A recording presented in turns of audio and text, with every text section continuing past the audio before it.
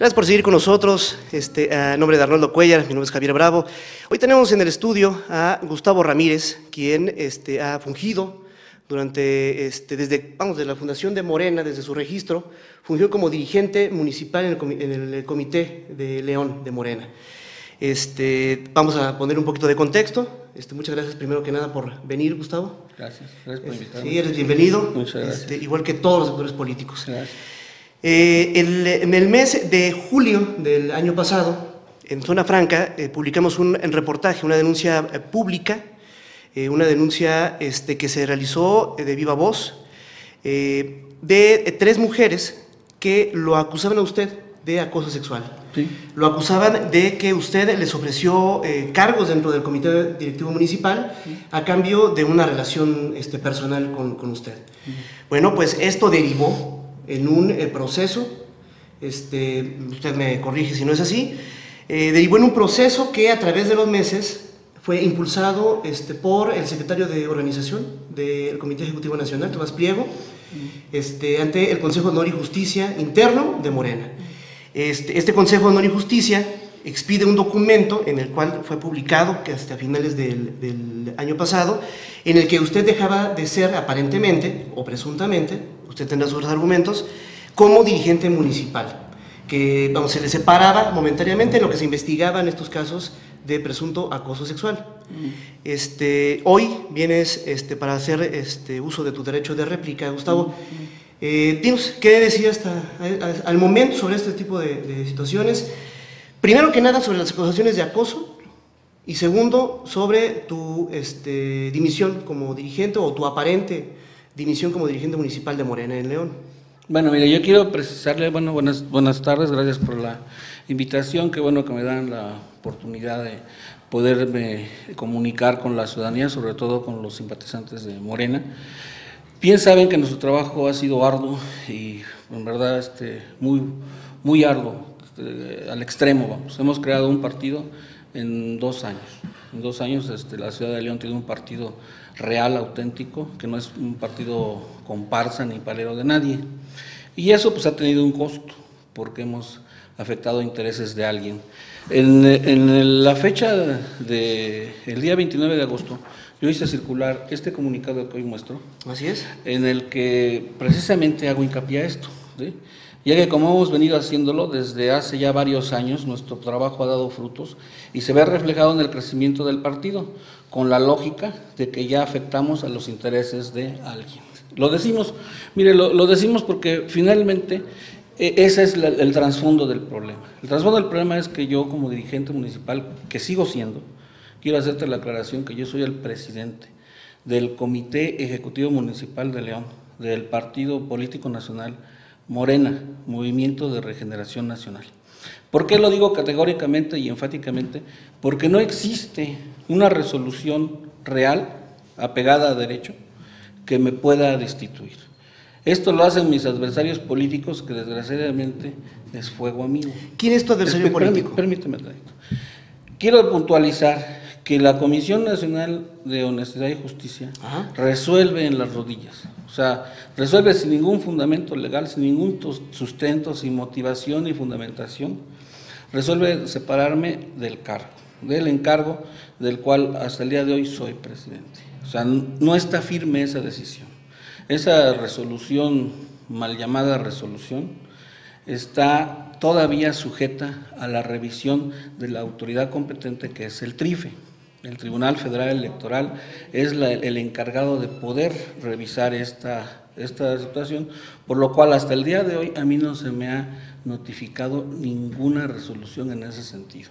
Es, es un este, tema que anda en las redes sociales, en los medios, en todos lados, menos donde debe de andar, que es habérseme notificado personalmente y haber recibido esa notificación para iniciar el, proceso de mi defensa. ¿Por qué les voy a decir esto? Esto obedece a una venganza política. Es el secretario de Organización Nacional, Tomás Pliego Calvo, lo acuso públicamente de orquestar, no nada más en León, Guanajuato, la, división, de, la, la fractura del partido, sino a nivel estatal. está haciendo en cada municipio del estado de Guanajuato, hay damnificados de Tomás y su pandilla. Ellos, permíteme, no he terminado, ellos se han dedicado a vender el movimiento. Eso es lo que han hecho. Se han asociado con los partidos predominantes, en específico uno, para debilitar con el PAN, para debilitar, para debilitar al partido y hacer como siempre. En León, la ciudad de León, y eso que me escuche no va, lo, va a reflexionar y lo va a razonar, no me va a dejar mentir. En 25 años la izquierda no ha podido hacer absolutamente nada porque los maicean, les dan dinero por debajo de la mesa a la oposición. Ese es un secreto a voces. No registran a nadie. Hacen como que hacen, pero no van a ningún lado. En, los representantes de casilla van los difuntos y los desaparecidos, los que ya no viven ni ahí, pero cobran las, cobran las, el presupuesto federal que tienen los partidos que a través vía impuestos para este, financiar esas operaciones y se lo clavan, pero nadie lo dice. Entonces ellos tienen, aquí hay una doble complicidad. Ellos lo que quieren es hacer como que hacen en Morena, ¿sí? Y posteriormente quedar bien con el partido predominante. ¿Para qué? Para recibir sus prebendas. Nada más te voy a decir una cosa, no es correcto que traten de imponer a personajes de la vida pública ligados íntimamente con el PAN. Oyes, ¿A yo, específicamente? Mira, hay un personaje aquí en la ciudad que se llama Ricardo García Ceguera. Esa persona se autonombra este, coordinador político eh, electoral de Morena y hace mi función. ¿Cómo ves? Hace la función del presidente del partido, él designa quién va, quién no va. ¿sí?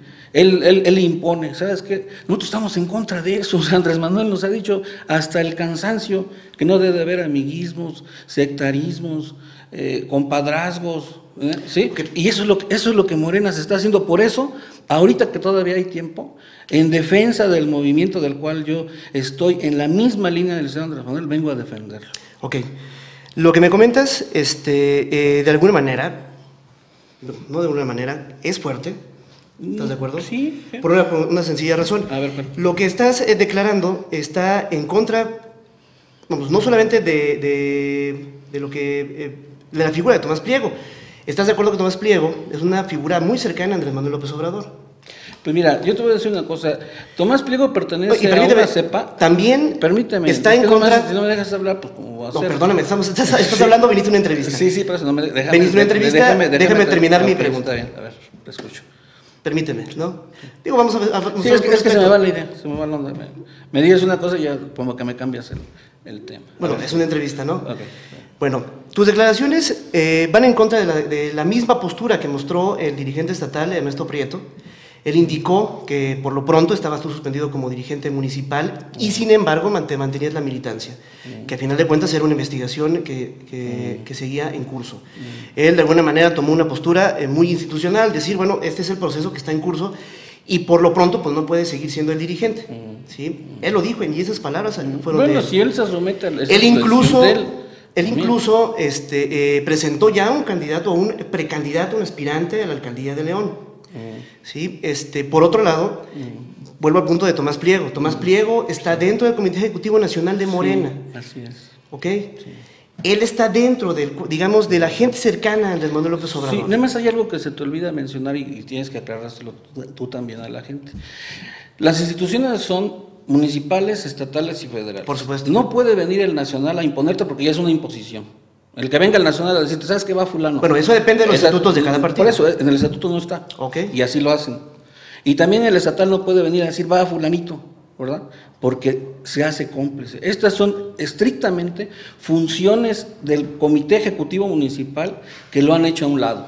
Porque no nada más es a mí el que han hecho a un lado. Han hecho a un lado a todo el Comité Ejecutivo Municipal, que está legalmente, somos los únicos legítimos en esta ciudad para representar a Morena. No cualquiera puede agarrar y convocar ruedas de prensa y de autonombrarse. Yo soy el coordinador político, soy el vocero. No, señores, esas prácticas han llevado eh, durante 25 años a que esta ciudad esté como esté. Ya estuvo bueno. Necesitamos llamar a las cosas por su nombre y eso es lo que yo estoy haciendo porque estoy replicando lo que Andrés Manuel me enseñó a llamar a las cosas por su nombre, a no estar haciendo simulaciones, a no estar haciendo prebendas, a no vender el partido. Andrés Manuel me dijo algo bien cierto un día, y lo dijo en una comida. nos dijo, ¿saben qué? Vamos a hacer un partido chiquito pero de calidad. No vamos a permitir, no somos ingenuos, no vamos a permitir a que entre cualquier perredista recalcitrante a querernos dividir y a tomar el control del partido. Y eso es lo que está haciendo Tomás, porque Tomás es de esa cepa, es de la cepa de los perredistas recalcitrantes que están tratando de apoderarse del partido. Le están dando el último chance al licenciado Andrés Manuel. Ahora ya los patos le tiran a las escopetas. Les están dando el último chance de que él se postule para el 18, porque hasta ahí tan tan, y después seguimos nosotros. Y esa línea es la que viene. Dense cuenta que Guanajuato es muy importante. León es una ciudad que vale más de seis estados de la República. Vale más que Colima, que Tlaxcala, que Morelos, que, Nayarit. ¿sí? Es, es, es, un, es un estado, es una ciudad estratégica para todo, para el comercio, para todo. Está en el centro del país.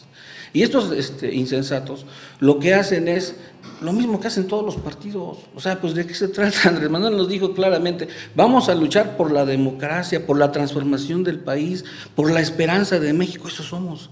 ¿Y qué es lo que hacen? Traicionarlo. ¿De qué manera? Hay que quitar, hay que pegarle al negro, hay que quitar al que nos estorba, el que no se disciplina.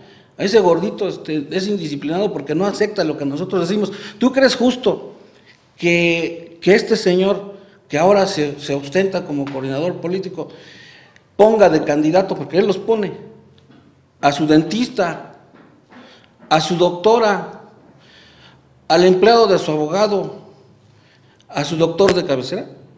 O sea, nada más dígame qué trayectoria tienen. ¿Quién los conoce? ¿Cuándo han estado en la izquierda? ¿La militancia dónde queda? La militancia está descontenta. Pero se ha dado cuenta de Claro, la, militancia está descontenta y ellos hacen sus reuniones eh, eh, a escondidas. ¿sí? Les hacen, por ejemplo, ayer estuvimos en, un hotel, es un hotel de lujo, de cinco estrellas. ¿Quién lo paga? Si Morena nunca ha tenido dinero. Nunca ha tenido, nunca hemos tenido un clavo, siempre nosotros hemos pagado para que Morena funcione. Mis hijos, tengo un hijo de 12 años y me dice, papá, ya salte de Morena, renuncia a Morena, eso me lo viene diciendo desde hace años. ¿Por qué, hijo? Pues es el único trabajo donde pagas por trabajar.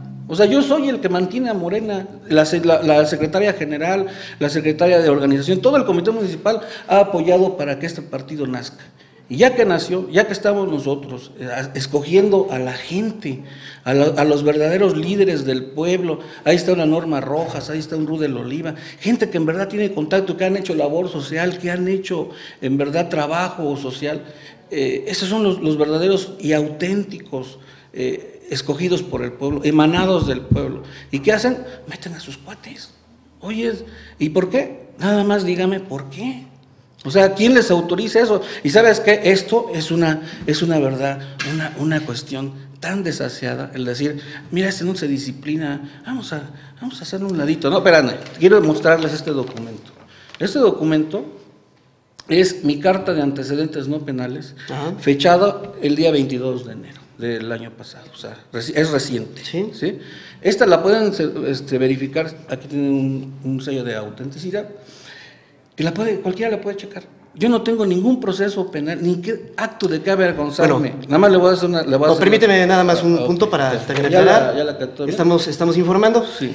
Esta es una carta de, no antecedentes penales. ¿sí? Esta causa Estado cuando no hay ningún este, proceso Vamos, cuando no se ha tenido ningún delito, no se le ha dictaminado ningún delito al solicitante. es. decir, eh, esto no comprueba que no haya procesos penales o que no haya una carpeta de investigación. Mira, las denuncias se presentaron en, julio. ¿Se presentaron denuncias? Se, presentaron tres denuncias. Eh, Así es. en el Ministerio Público que hay una agencia especializada. Que son las en las que nos basamos en, la, el reportaje. Pero te voy a decir, porque mi el Ministerio Público es un servidor público que precisamente al escuchar la, versión del afectado, él sabe si califica o no para delito. ¿sí? Cuando no califica, las pasa al Ministerio Público conciliador. Él se encarga de ahí levantar un acta, tú no le vuelvas a hacer esto, y pum, ese es un acuerdo y tan, tan. ¿sí?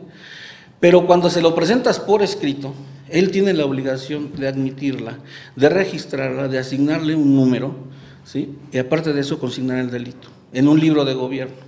Y no puede desecharla por la sencilla razón de que está por escrito y debe de emitir el acuerdo. Esas denuncias se archivaron, están archivadas a la fecha, y desde antes, desde mucho antes. Nada más que ustedes, los de los medios, requieren de, esos, de ese número y de la causa para poderlo publicar y hacer escarnio de quién deben de hacer, ¿verdad? Contribuir, porque en parte pues cumplen con su trabajo, pero afectan a la, a la, a la persona porque es, es algo que no es, es incierto, ¿verdad? A la fecha no hay, no existe, no tengo ningún delito yo que se me persiga o que se me siga a proceso y te lo digo categóricamente y te reto a que lo averigües, lo investigues, vayas a las, a las instancias y preguntes por mis antecedentes. Nada más que, nada más que sí, es, es bien importante porque es muy fácil. A ver, permíteme, Gustavo, permíteme nada más un segundo. A ver, este, digo, los retos no son, no son de nosotros. Digo, no, es que ustedes lo asunto- dieron a conocer. Permíteme. Eh, el reto no me lo lanza un medio de comunicación. Entonces aquí Nada más vamos a aclarar. Bueno, es que tú lo dices con un énfasis. Vamos a como aclararlo. si- como si Permíteme, Todavía permíteme. dudas, o sea, Vienes- vienes a una te traigo, es que te traigo la carta y todavía dudas, o sea, pues, Por entonces- supuesto. Pues entonces no, no hay otra carta. Pero para, para tu información, la duda es la materia prima de un periodista. Ah, ok, está Tengo que revisarlo. ¿no? revísalo, te lo, te lo Yo nada más te pongo en contexto esto. Si una acusación de este tipo se presenta contra Alfredo Lin, Altamirano, Mm. contra Jorge Gómez del Partido Verde, contra eh, el dirigente del PRD, contra quien tú me digas y mandes, el dirigente del PRI, Aurelio Martínez. Mm. Sí. Si hay una acusación de esta gravedad, Sí, no es Sí. grave. Mira, no es grave. Grave te voy a decir que es. Grave es robar, como roban ellos. ¿Me vas a dejar hablar? Yo te he permitido es que, hablar. Es que tú le das un contexto diferente a las cosas. Esto no es un delito grave para empezar. ¿No es un delito grave es un acosar a una delito mujer? grave. No, ¿Acosar a una mujer no es un no, no es un delito grave. No está tipificado en el código Perfecto. como delito grave. Grave es robar, eso sí es grave. Y, esta, y los que acabas de mencionar. Que bueno, es una los- consideración, es una consideración que tú tienes en lo personal. No, no, no es, no es en lo personal, es, en lo jurídico. Yo regreso al punto. Si una acusación de ese nivel, el que sea, bajo, mediano o alto. Ah, se realiza Sí. contra un dirigente municipal, de un dirigente de un partido, Sí, del que sea. del que es una institución pública que recibe Sí. dinero de los ciudadanos. Yo no he recibido dinero. O sea, te hago la aclaración. Nosotros Eres no una institución pública, Eso institución sí, pública. Somos públicos y por eso estoy aquí. ¿Ok? Entonces, si se recibe una denuncia de ese tipo, uno como periodista, ¿sí? tiene la información, tiene tiene el- el- el- la denuncia cotejada, tienes al denunciante enfrente, no es una denuncia anónima, está dando la cara. Se, Nu- denunció- se presentó una denuncia penal, a nosotros nos dieron la cara, y tú lo viste en el reportaje. Bueno, si se presenta de esa gravedad, ¿sí? Es nota. Es que vu- vuelves, vuelves a lo es mismo. publicable, porque estamos Sí, hablando es de que figura na- nada, más, te- pública. nada más te voy a decir una cosa. Tu video que difundiste de la señora esa que viene acá y dice que yo violo, que robo y que soy deshonesto, tiene, está a punto de consignarle la orden de aprehensión por el delito de difamación. Y tu, tu video fue analizado, fue, es auténtico y no está editado. ¿No está y, te, y, editado? te, y te voy a decir por qué. Porque precisamente ustedes, está bien, es, su trabajo, yo lo entiendo, por eso también estoy aquí, porque si no, no vendría, ¿verdad? Consideraría que es parte de la difamación. Pero es mi derecho el que me asiste mostrar los documentos. Porque esa señora no ha venido a mostrar una orden de aprehensión en mi contra. ¿Verdad que no? No. Ni vendrá porque no existe. La Pero yo sí vengo, yo sí en vengo a mostrar mi inocencia. Tú vas a decir por qué. Porque yo tengo familia, así como tú. Yo también tengo familia, tengo hijos, tengo hijas. ¿sí? ¿Y qué van a pensar de mí? Mira, ellos no piensan mal porque me conocen. Todo, la gente que me conoce lo sabe. Pero no puedo andarle enseñando a toda la ciudadanía de León mi carta de antecedentes no penales. No puedo andarle, oiga, mire, este no se me quede viendo feo porque mire. No, hay que decir las cosas por su nombre. Y las cosas, Andrés Manuel nos lo enseñó, espérame tantito. Andrés Manuel enseñó, enseñó a llamar las cosas por su nombre. Y esto es un plan perverso del, com- del, del secretario de Desorganización Nacional de Morena, se llama Tomás Pliego Calvo, que él, viendo la posibilidad de hacerme de un lado y poner a sus cuates panistas, ya vendió el movimiento, lo hace. ¿Tienes por tu por qué lo hace? con Andrés Manuel? Con Andrés Manuel sí la tengo. Y si quieres te comunico ahorita con él. Bueno, Sí, pero que veas que sí la tengo. no tengo problema con eso, te creo. Mm, ¿Tienes tu comunicación con Andrés Manuel? ¿Ya le externaste lo que tú piensas de Tomás Pliego? Ya lo externé y me mandó a un señor que se llama Rafael Chong, que es el presidente de la Comisión Nacional de Elecciones. Ayer estuve hablando con él, le hice lo mismo que te estoy este, comunicando, se lo hice saber, le hice saber de la traición que está recibiendo Andrés Manuel por parte de este personaje eh, deshonesto de Tomás. ¿sí? Y no nada más es Tomás, es toda su pandilla. Estamos hablando de que ha este, alineado a, a sus pretensiones tanto al comité estatal y ahora, como el comité municipal no, se- no lo permite, nos hemos hecho a un lado porque ellos nos han hecho a un lado. La, la primera acción fue con una calumnia, con una difamación, tumbar al presidente porque los estorbo. ¿Y por qué las estorbo? Porque sé sus enjuagues. Y no voy a permitir, porque mire, le voy a decir una cosa, la ciudadanía no está tonta. La ciudadanía se da cuenta de, de cómo es, además los militantes de Morena que lo sepan. Nosotros vamos a seguir trabajando porque no vamos a permitir que ellos sigan usurpando las funciones del comité municipal. Ellos están haciendo las funciones de, que legalmente, legítimamente nos corresponde a los, a, los, a los dirigentes municipales. Ahora, te voy a decir una cosa, yo no soy cualquier este, integrante de Morena, yo soy dirigente nacional de Morena, soy consejero nacional. Y no nada más van a venir aquí, ah, mira, este gorrito es, pues es buena onda, es disciplinado, ah, pues quítalo, dile que sí, mañana, ¿sabes qué? Disciplínalo. Dile que ahorita está suspendido, pero que en enero ya regresa otra vez. ¿Sí? No, yo he sido, yo he sido un, soldado. Te voy a decir una cosa, no puede ser que de general me, degraden, bueno, ni a soldado. ¿Se me aplicó? O sea, ¿por qué? Por consignas. La, Comisión Nacional de Honestidad y Justicia es un tribunal de consignas. Te voy a explicar. ¿Te acordarás de Ernesto Prieto, el presidente actual? ¿El dirigente estatal? El, dirigente estatal. Ese dirigente estatal está de presidente gracias a mí, porque yo lo defendí y yo ofrecí las confesionales para la cual demostré que la elección que se realizó fue, el voto fue libre y secreto y, todo, y por eso la comisión, no, no la comisión, el TRIFE lo, lo, reinstala. Pero aparte de eso, en la segunda ocasión que lo destituyen, porque lo destituyen, ¿Sí? no, estaba igual que yo, no lo habían notificado. ¿sí? No lo notificaron y preside la Asamblea Constitutiva de Morena. Eh, eso fue en Irapuato. Pero entonces estamos hablando entonces, si, ellos dicen que yo no soy presidente, pues entonces no existe partido. ¿Me explico? Si ellos, ellos ahorita salen a los medios a decir, es que Gustavo no tiene autoridad política para decir nada, tanto la tengo que estoy aquí. Y te voy a decir una cosa, eso que ellos dicen es una vil mentira, por la sencilla razón de que Ernesto Preto estaba exactamente igual que cuando se fundó Morena en Irapuato, en la Asamblea Estatal de Morena, en la cual se cumplió con el requisito que pedía el INE de 3 mil eh, militantes. Él la presidió y está igual que yo, entonces si él dice que yo no soy el presidente, pues entonces no hay partido, ¿verdad? Entonces, date cuenta de la trascendencia de esto. Okay, eh, o sea, estamos peleando con el monstruo de las mil cabezas que ya se metió a Morena. y yo voy a defender a Morena, aunque sea con la vida misma porque no voy a permitir que una sarta de aventureros, de una sarta de, gente oportunista, venga a querer apropiarse y no, vienen para construir, o sea, eso, eh, entiéndanlo por favor, no vienen para, para ayudar a crecer a Morena, ahora le vamos a las elecciones, no, vienen a dividir, a hacer como que hacen para que siga ganando el PAN, para que no le quiten ni regidores, no le quiten ni, ni siquiera este, un diputadito, nada, o sea, ellos lo que quieren es cuidar su negocio. Y, te digo una cosa, Morena no es eso. Para, para no ser redundantes, vamos a algo más concreto. ¿Qué es lo que viene? Legalmente para ti, ¿qué es lo que viene dentro de los estatutos de Morena? ¿Qué es lo que vas a realizar? ¿Estás defendiéndote ante el, Consejo de Honor? Dime. Mira, ante el Consejo de Horror e Injusticias, no, no voy a hacer nada porque ellos, la verdad, está demostrado. Nada más, un favor. Este, vamos a ser este, serios y hablemos después por su nombre. Si es serio, ¿a poco crees que es broma? No, no, no. Hablemos, ¿Cómo se llama el órgano? Y vamos el, hablando, el, órgano se llama Comisión Nacional de Honestidad e, e Justicia. Y justicia. Y justicia. Bueno, ante, ante, ese órgano, el, el dicho de la resolución de ellos no es este, definitiva. Ese no es de que ya es, mi palabra es de rey. Sí.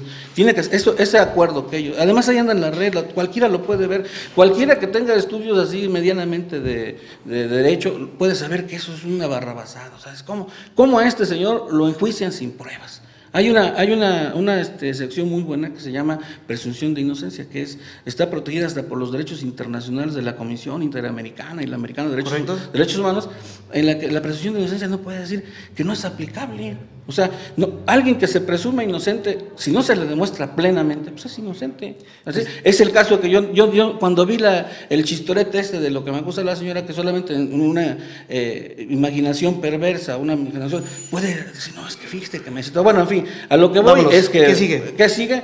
Eh, defendernos. Lógicamente, defendernos. Cualquier ciudadano en este país tiene ese derecho que le asiste constitucionalmente a defenderte. ¿Qué voy a hacer? Voy a interponer un recurso ante la misma eh, entre el Consejo Nacional de Morena, que se llama, es un recurso de reconsideración, y ante el TRIFE, pues la impugnación correspondiente.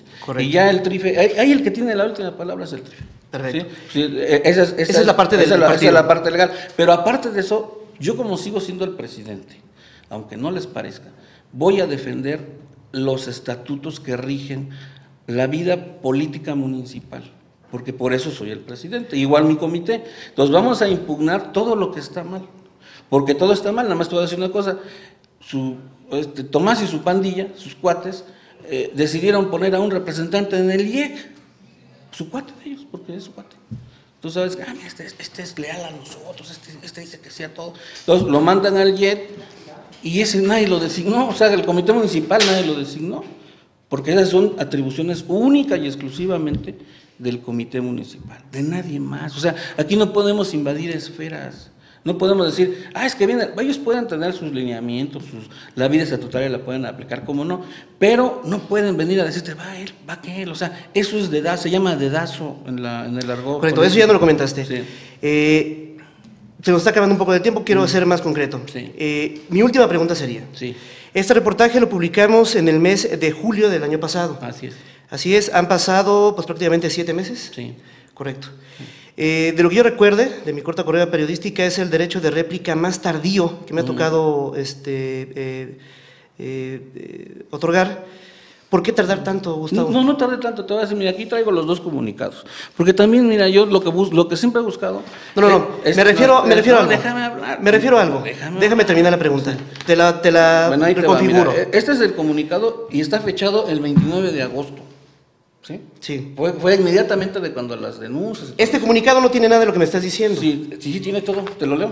Aquí dice claramente mi postura. ¿Y qué es lo que sucedía? No viene. Bueno, aquí hablo de las denuncias, que, iba yo a presentarle una denuncia sobre, sobre dice, los, dice, en los correspondientes días. Sí, por supuesto. Presentaré las denuncias correspondientes por los delitos de defamación calumnia, que ya lo presenté. Este no es un derecho de réplica. aquí lo traigo. Bueno.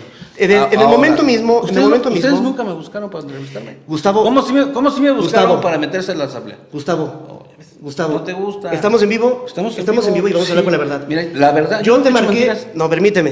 Te marcamos el día de la publicación. Bueno, mira. Recuérdalo muy bien. Cosa, yo, te, yo, te marqué personalmente. Pues no sé dónde marcarías mi teléfono. Ah, yo hablé contigo. Mi teléfono yo hablé contigo, Gustavo. No, no, no. Ya ves, primero yo, yo te Gustavo, yo te marqué bueno, directamente. Así que es lo que quieres. Te pedí el derecho de réplica y tú me dijiste, no quiero hacer más grande el asunto. Así es. me dejaste un comunicado de prensa. es lo que estoy diciendo. Y ahora nos buscas y nos acusas de haberte golpeado, de haberte... yo nunca he dicho que me han golpeado. Gustavo. Porque mira, la ciudadanía no está tonta, sabe perfectamente. Vamos, Gustavo. No, no, me, has golpeado. O sea, yo digo, estoy, estoy cierto, este es su trabajo. Te lo dije desde el principio de esta charla. Vamos a. Es su trabajo. Vamos Ahora, mira, aquí está el otro comunicado que tampoco quieres leer. Aquí está. No, es que no los entregaste. ¿Cómo no? Pues si te los mandé por correo. Déjanos los comunicados y lo dejamos sin ningún problema. Aquí lo dejo, ojalá y lo puedas difundir. Y bueno, ya te traje las premisas. Nosotros vamos a, a iniciar la defensa de Morena. Ahora necesitamos defender a Morena. Andrés Manuel va a venir el día, el 19 de febrero, a las 5 de la tarde. Aquí va a estar en León. Está todavía, ya anoche, por la situación de anoche, este, está todavía entre que viene y no viene, ¿no?